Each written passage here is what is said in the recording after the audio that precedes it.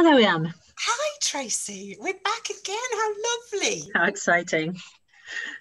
Now, I think we're going to talk about one of my favourite things today, aren't we? Which are books for very small people.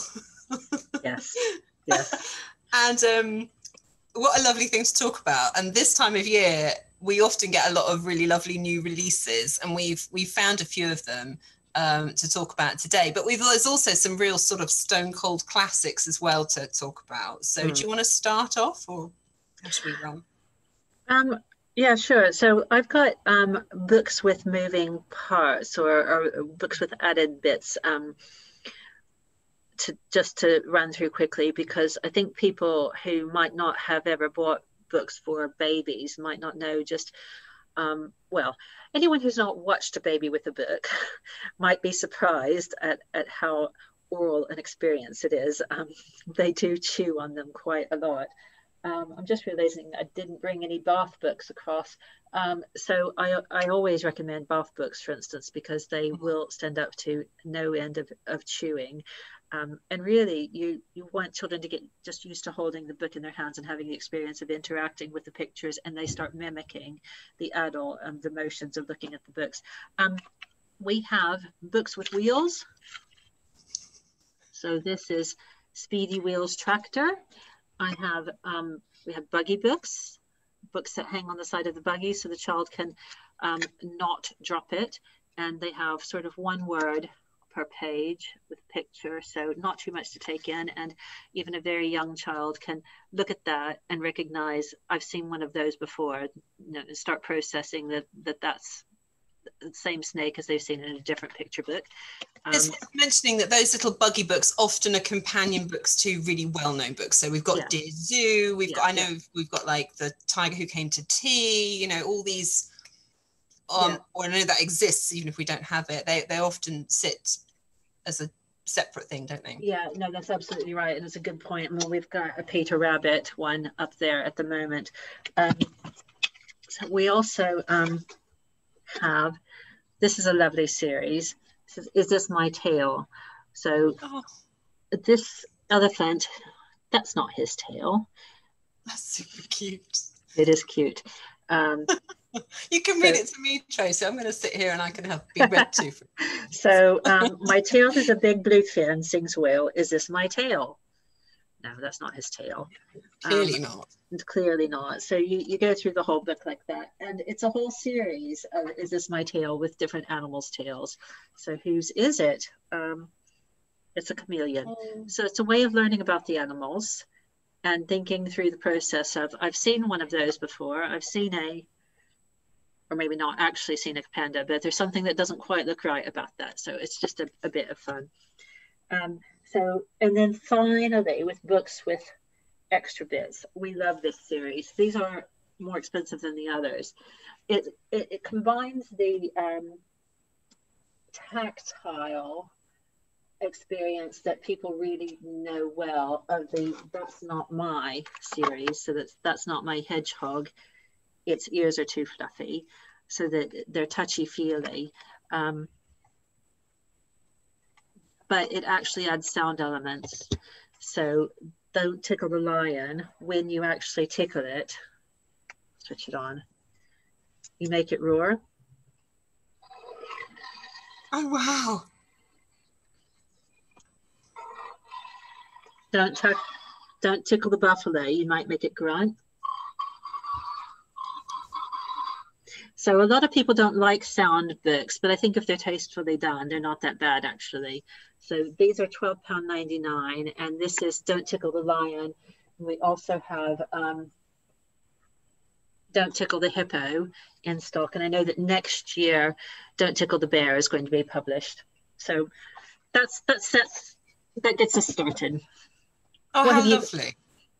Right. Well, let's also start with something for really young children. Um, well, so I I have a son who's now about 20 months, and I've had this book since he was a baby. You can see it's very well loved. We talked a little bit about treatment of books. We're very careful, but you know, things happen. Um, this book, we know that we have customers in the shop who buy this anytime anyone they know has a baby. And it is one of those books. For me, it's it's this and Peepo by the Ahlbergs. You know, they're just they're wonderful classics. This is a book for children who want a bit of interactivity without an iPad. So as we go through, there's magic in this bare brown tree. Tap it once and turn the page to see and then so as we go through it's a story of the, the cycle of a tree as it goes through the year. And it's um, really lovely. The children can find the point of difference on each page. You can look for the apples and the bees and it's winter and you can make all the noises. And it's really it's really lovely. Young children like to just look at the tree. I've noticed that with casper so my little boy who's 20 months he's in the past couple of months, he's really started going for the actions on the page. So I think if you want the actual fully interactive experience, you're probably looking about 18 months upwards to actually get them to understand that that's what they need to do. Um, but it's a really lovely hardback board book.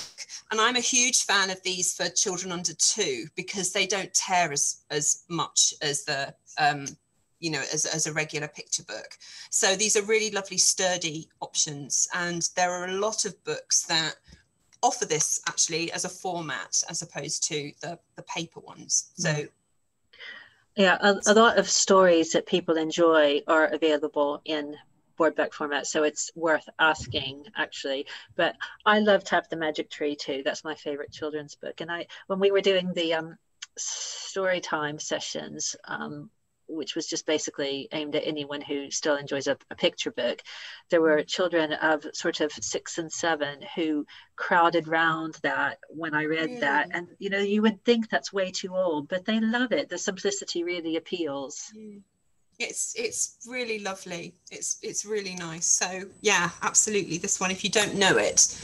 Um, so we're hoping to give you an idea of some books to to think about if you want to move past the ones that a lot of people already have. So the Gruffalo and we're going on a bear hunt and, you know, Dear Zoo, these are all absolute classics and they are classics for a reason, but there are so many other options that it's nice to actually be able to share them.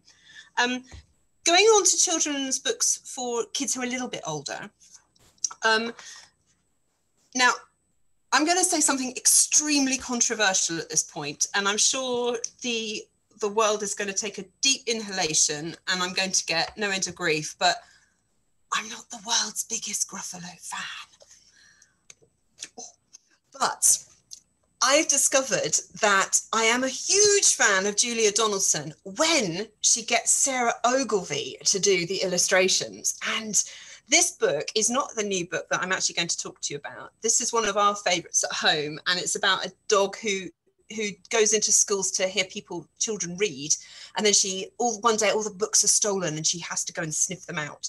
And the illustrations are wonderful. They're they're really really great. And it's julia donaldson's prose. So this is julia donaldson who's written um, uh, yeah, the Gruffalo and Zog and Tiddler and you know Snail and the Whale and all the books that the kids absolutely love. But it's a slightly different take because of the different illustrator. Now, Sara Ogilvie and Julia Donaldson have just published their new offering, which is the Hospital Dog. Now, it's currently just in hardback, so it's a bit more pricey. I think it's twelve ninety nine at the moment, something like that. that so it's it's a little bit more than a a standard um, paperback version. Um, but this one is a similar idea. So this is Dot, and Dot goes into here, um, to goes into the hospital to cheer up sick children. So here is a Dalmatian called Dot. Is she quite ordinary? No, she is not. And it's really lovely. Um, so this is a really nice choice for children who are a little bit older Casper actually loves this and will sit through it, but he has no choice at home because I read it to him whether he's listening to it or not. um, but I think um, his older brother, who's seven, will happily sit and listen to it. So I would I would think from you know tod- late toddlers, if they are into books, right up through, this is a really nice option. And with whether it is Scheffler or with Sara Ogilvie, there's always loads to see in the illustrations and lots to talk about. In the books too. So that's a new one. Um, I really want to talk about diversity in children's books. And that's something I've been really conscious of this year um, with the Black Lives Matter stuff. And uh, I think also living where we do, um, trying to encourage conversations at home about people who come from all different places and look all different different ways and all do all different sorts of things and there's one illustrator who does this really well actually called Lauren Tobia and then we've got three books to talk about all illustrated by the same person so in some respects it's a really bad conversation about diversity to be having um, the first one I want to talk about is um, a series from Walker. Now, these are really nice intermediary books between board books for babies and, and books which are slightly older. They're in a, a, sort of a medium. I don't know what you'd call this format, Tracy. You'd know. The paper's very thick. It's almost like cardboard, but it's not a board book. No, I don't know. These are um, the Walker First Experiences series. Now, there are four books in the series, and they're about Billy and Bee and they're two friends and they go do stuff and they go and have adventures and they experience things that a lot of children will be experiencing. So um, they go to the farm they go to a city farm they go to nursery they go to the seaside they go swimming together. And there's always some sort of minor catastrophe. So um, whether it's billy doesn't actually want to stroke the lambs and it's freaking him out a bit or Bee goes into the sea and the wave splashes her and she doesn't like it you know all these sorts of things that um, that kind of happen to children. It's done in really gentle verse. There's lovely messages about friendship and I don't know whether this is me being a bit sort of hormonal and just really valuing my female friends, but there's some really lovely things here about like this lovely picture. So while while Bee's mum's having a paddle, look, Billy's mum's looking after the baby. I just I just love it, and it's, it's really really sweet. So this is a nice series to know about um, for those sort of first experiences. Um, and then you have another one, don't you? A board book for babies. It's also illustrated by um, Lauren Tobia. Um, are uh, you talking about Ten Little Fingers? Yeah. That's actually Helen Oxenbury. Oh, it's Helen Oxenbury, right? I stand completely corrected. No, no, no. She's she's um been with us for so many years. Um, so we my children grew up on um, um, "Say Goodnight" by Helen Ox- Oxenbury. I had to recite all the um, all the words of the whole book in my mind to remember what it was called. Um, so, Ten Little Fingers and Ten Little to- Toes. Um, Casper has this, doesn't he? No, he doesn't. I thought he did. Oh, no, he doesn't. Oh, oh. I I love this because it's got Mem Fox's beautiful um, rhyme and it's very gentle. Mm. Um, the, the rhyme really works well. The um, and it's just about how babies are the same the world over. So you get there was one little baby who was born far away, and another who was born on the very next day. Oh. And all the babies look different. And both oh, of these babies, as everyone knows, had 10 mm. little fingers and 10 little toes and it just progresses through how babies are born in different places. So there was one little baby who was born in a town and another who was wrapped in an eiderdown. And it just goes right through to every single baby has 10 little fingers and 10 little toes. So we're all alike, however different the places are that we come from. I love it. It's my That's new favorite book. And I would say a plug for Mem Fox as well, because she writes, um, there's a book called um, Wilfrid, Wilfrid Gordon McDonald Partridge, which is about a boy of about maybe three or four who lives next door to a care home where the patients have a dementia and he befriends them and he he finds a way of having a meaningful relationship with the dementia patients oh, wow. um, and um, helps them to start recalling some memories and it's a beautiful friendship and about the boy understanding what's going on as well. So both of these, Helen Oxenbury and Mem Fox, are really worth looking up. Um, but this book is a book that we all need to have on our shelves, whether we have well, a baby in our lives or not. Clearly, I'll ask you to order me a copy then, and I'll, I'll click and collect it from you between the hours of 10 and 2 when I'm next in Wymondham. Yes, and please. it comes in. Um, the one you're holding here, ah, I am. I discovered her. Actually, I discovered this because in the back of this book, there was Yeah. a plug for her other books, and I was like, "Oh, have a look at those."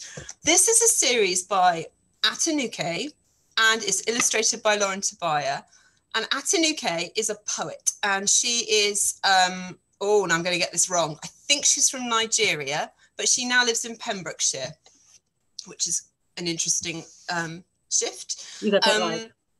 Oh, good. Well done, me. Um, now, this series of books, um, there's two picture books. There's Anna Hibiscus, and then there's this one called Splash. And it's about a little girl who grows up in Nigeria with her family. And she lives in this little compound with her extended family. And her dad is Nigerian, her mum is Canadian. So they, she's kind of a little uh, in a mixed race um, girl, but actually that doesn't really matter. The, the point of the stories is is it's just about her family and about uh, the sort of stuff she does um, in her day-to-day life and how she just finds absolute joy in the things that other people don't notice. So in um, anna hibiscus which is the first one she just doesn't know what to do with herself because she's so happy. And so she asks all her family members um, what do they do when they're happy? And um, it's just a real celebration of life. The one you're holding, Tracy, is they go they'll go to the beach, and um, they uh, she just wants to splash in the waves with somebody, but everyone's busy doing other stuff, so she just goes and does it herself. And um, there's a wonderful page there when her cousins, who have these wonderfully improbable names, are all on their mobile phones and they say to she I forget what they're called. Have you got it? Common There we go. sense. Clarity and common sense. Clarity and common sense are on their mobile phones and like, yeah, we're we're not going to splash in the waves. We're too old for that now. And so they're, they're all on their phones. And it's just, you know, anything you you might think you you know about um, life in Africa and that sort of stereotypical mold. It's just this is just family wherever family is. It looks Um, like they so all find see how much fun she's having though and realize the error of their ways and join her. They do. And so in the end, they all go down. So her mum and her dad, and the grandmother and grandfather, and the aunties and the cousins, and they all come into the sea and they all pile in and they have a great time. And um, it's it's a really great book. But what I love about her prose is that she is a poet. So um, it reads slightly differently to some other things in the same way that Julia Donaldson's stuff is. I'll be with you in just one kind of- second. So, do you want to carry on talking? I'll carry on talking for just a moment. um, so, in the same way that um, Julia Donaldson has a really great way with words and that very uh, regular rhyming, so does Atinuke. Has a really great way of describing where she is, and it's um, really gentle and thoroughly recommended. So, these are just some books that we've noticed that um, we wanted to share with you. Um, as Tracy said, we are open for click and collect between 10 a.m. and 2 p.m. from Monday to Saturday. If you would like to order a book from us, you can do so by calling the shop. And Tracy, I've forgotten the telephone number, so you'll have to tell us what that is. It's 01953 603 663. Or you can get us on email at, Orders at kettsbooks.co.uk. there we go. Right. Okay. I'll go and serve my customer. Thank you for talking us through your favorite baby books. That's my pleasure. Okay. And Lovely. um, lo- yeah, see you soon. lovely to talk to you again. Bye. Bye.